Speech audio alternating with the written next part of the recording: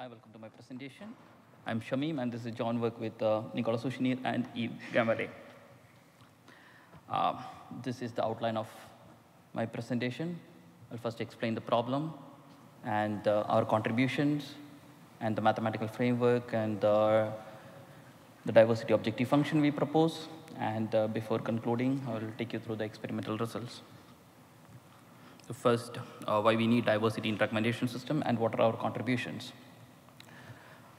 Majority of the recommendation algorithms, they rank the items based on something called probability ranking principles, which assumes that the relevance of an item is independent of the relevance of the other items. But in practice, uh, that's not the case, and the recommendation list, uh, the items becomes similar to each other. And there is an inherent problem due to the selection bias towards the popular items. So we would like to solve this, and diversification is a mean to solve this and increase user satisfaction, and uh, of course compensates for popularity bias. And uh, state-of-the-art algorithms, uh, diversification algorithms are based on scalarization principle, where they take two objectives, one corresponding to relevance and the other one corresponding to diverse, diversity, and linearly combine and uh, explicitly trade off. And what we call our contributions is we propose uh, an objective function which uh, takes into account both relevance and diversity in a single function. So we don't actually have to explicitly trade off relevance and diversity. And we frame the problem as a user interest coverage problem. And uh, relevance estimation is implicit. So you don't have to run a baseline recommender system to first generate the rating values and then re-rank. And we frame our problem as a submodular maximization problem. And uh, there exists very efficient and simple optimization algorithm to solve submodular maximization problem. So now the mathematical framework, the preliminaries. So we are given a set X of n objects with a similarity measure defined over the set. And we don't assume anything other than the non-negativity of the similarity measure. Uh, we don't assume that it's symmetric or transitive.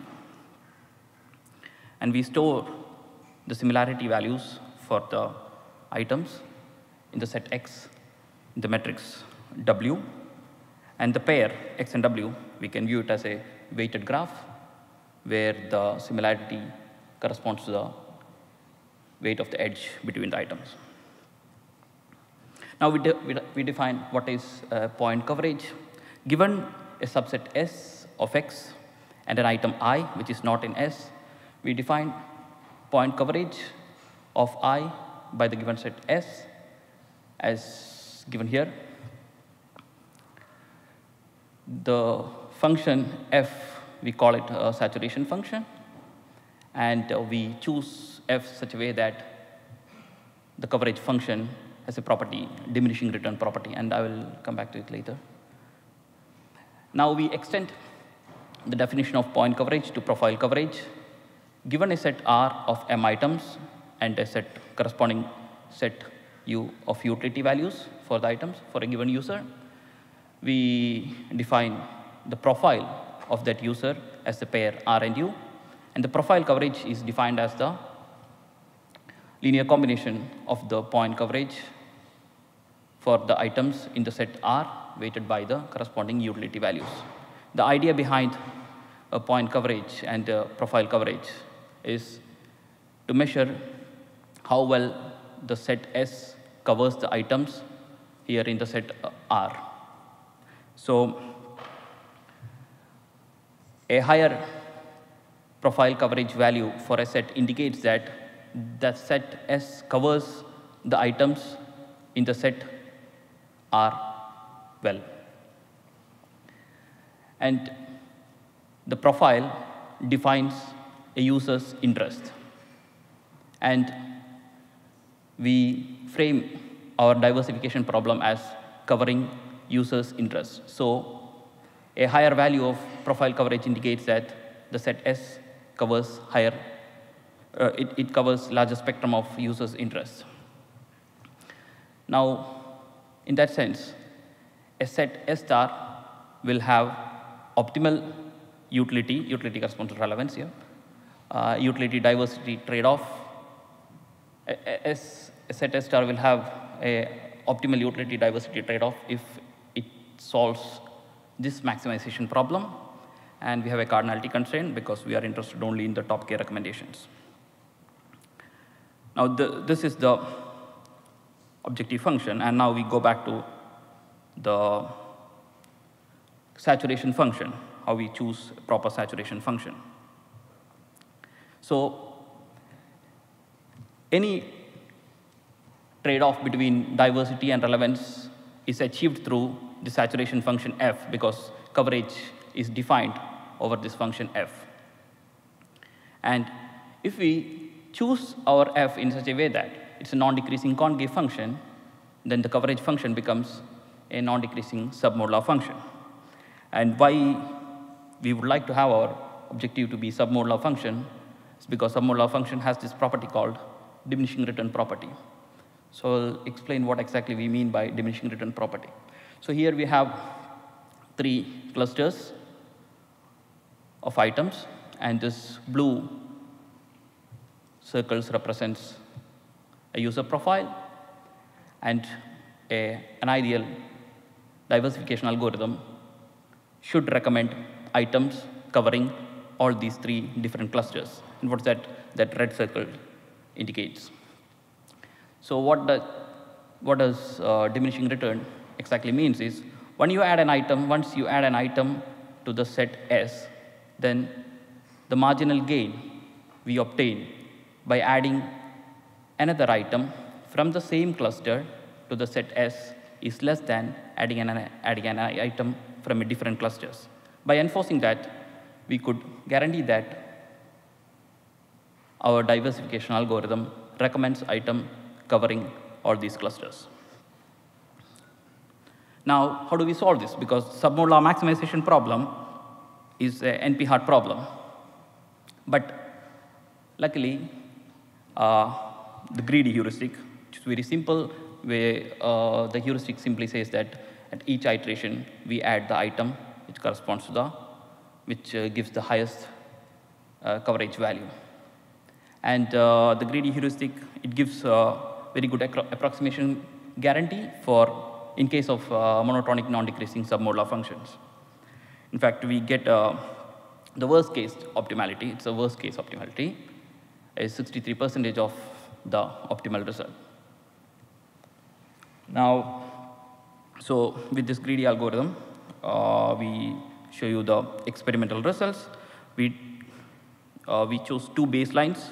One is called ma maximal marginal relevance, uh, and MMR selects uh, item based on this objective function, where the similarity one is the similarity between a user and I item, and the similarity two is the similarity between uh, the items, and uh, alpha is the, uh, sorry, lambda is the trade-off parameter. And the second one is uh, max sum diversification, where the objective of selecting item is based on this equation, where the first part is a modular function and the second part is a distant function.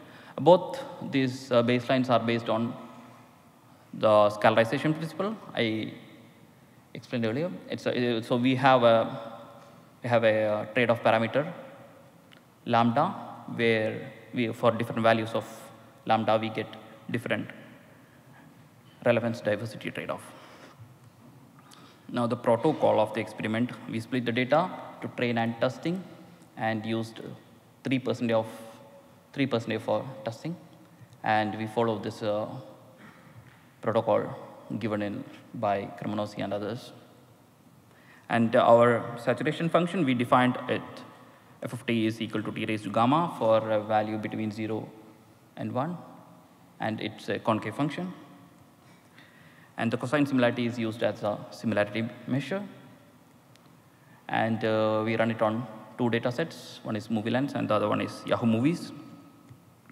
And uh, there is no uh, consensus regarding the diversity metrics. So we measure different aspects of diversity, which covers uh, um, popularity, bias, coverage, etc.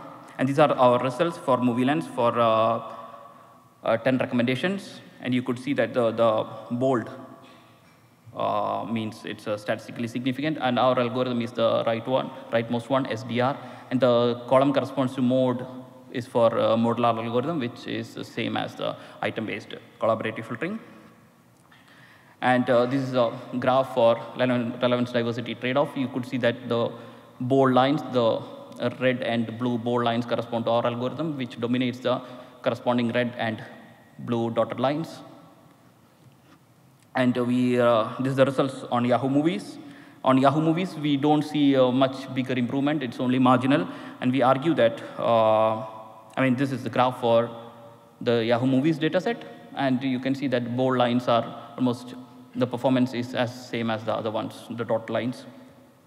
And we argue that it's because of uh, the fact that diversity recommendation makes sense only in case of eclectic users. You, for a user who have like you know a fixed interest or one interest only, then it doesn't make sense to recommend diverse items.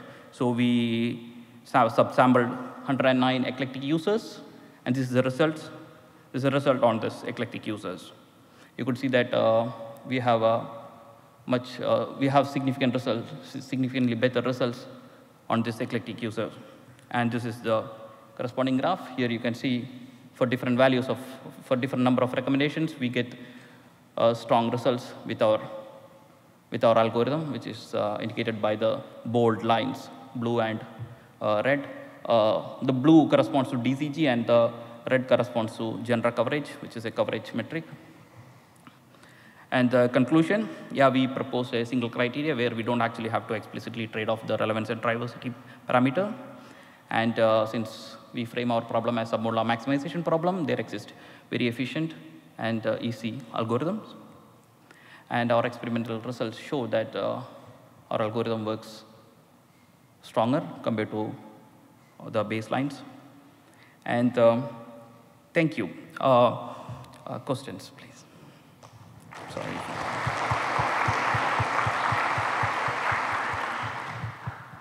So we have a pretty good amount of time for some questions if people want to get into some technical detail and applications. I see one coming up from the left.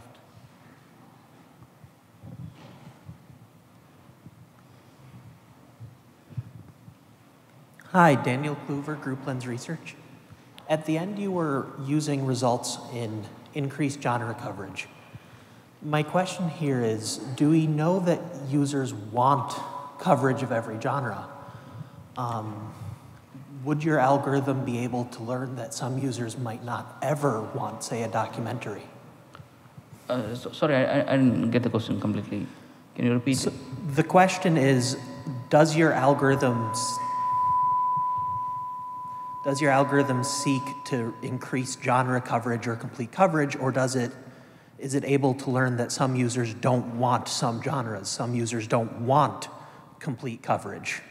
Yeah, I mean, uh, the algorithm is not designed uh, explicitly, I mean, specifically for a genre coverage. I, I, there, is, there is a paper in IJCI where they uh, suggest an algorithm which is completely based on uh, increasing the genre coverage, but we don't, we don't, we don't specifically uh, optimize genre coverage. Genre coverage, uh, we chose genre coverage as one of the metric because uh, there is no proper uh, diversity metric exist. exist. So it, it's just that uh, since we don't find any other metrics, we, we measured like, you know, uh, coverage, uh, popularity stratified recall, relevance, and catalog coverage, uh, genre coverage, ILD, intralist distance, and yeah, we covered all these metrics but it's not just that you know our algorithm uh, optimizes just uh, genre coverage. Yes, it uh, we can say that uh, it can it can be used in uh, other cases like you know uh, even if there is no proper genre information, and yeah, we could recommend items based on like you know especially popularity stratified recall, which which measures how well the algorithm recommends from the tail distributions. Uh, we can use that and uh, can say that the algorithm uh, recommends from the tail distributions, which is one way of telling that it's a diverse list. I wonder in the in the beginning you mentioned that you assume some availability of the pairwise similarity data. Uh, I wonder how how accurate the model would assume those data, or in other way, how bad uh, those data may break your model. I, I, I don't, see who, who is, is the question. Ah, okay. Can you repeat? Oh, sorry.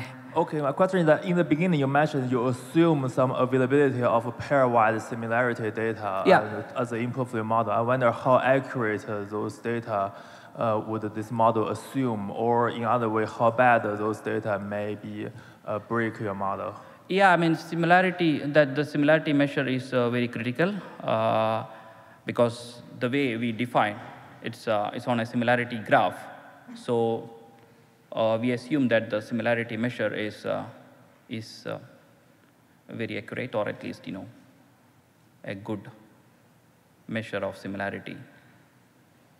I mean, what I mean is that, for example, if you feel you purposely introduce some perturbation on those data, would that change your result dramatically, or how kind of robustness your model would uh, uh, have with the impact of Uh, no, we, did, we, we didn't try with uh, any perturbations, but, uh, but the results, uh, I don't know exactly how it's, it's gonna behave when we change the, when we you know, perturb the similarity measure, but the results, what we got is statistically very significant compared to the other three methods. So, but yeah, specifically if you ask like, you know, how, if we perturb the similarity measure, how the algorithm perform is, uh, I didn't do it yet, at least, I mean, so far. Maybe it's a good thing to do in the future. Hi, um, back here. Thanks for your talk. Um, you briefly mentioned the fact that there are no metrics available to measure diversity. Yeah. Uh, would you please throw light on how you uh, measured that and you know checked how well your algorithm was doing on that front? Yeah, we measured, we measured uh, coverage, and we measured uh, intralist distance, and we measured DCG, uh, which is a relevance, uh, which is a ranking relevance estimate uh, metric, and uh, precision. These are the five metric we used in our study, and I just uh, given and uh, popularity stratified recall, which measures the uh, popularity bias. I mean how well the system recommends from the tail distribution. So these are the metrics we used, but I, I just reported only three because so you know the space limitation. I don't want to make it really ugly. So, but the, in the in the paper, uh, I do have the results for all the other metrics. Uh, we, uh, the idea behind uh, using this metric is metrics are like uh, a diversity uh, recommender system should have all these properties. It should recommend from tail distribution. It should cover a larger spectrum of user interest, like you know by, by genre or by catalog or whatever we use. And it should have high precision, and it should have IDCG values. And the ILD also should have higher value. Thank you. Won- Wonderful. I think we're going to have to cut it off there. Thank you again very much.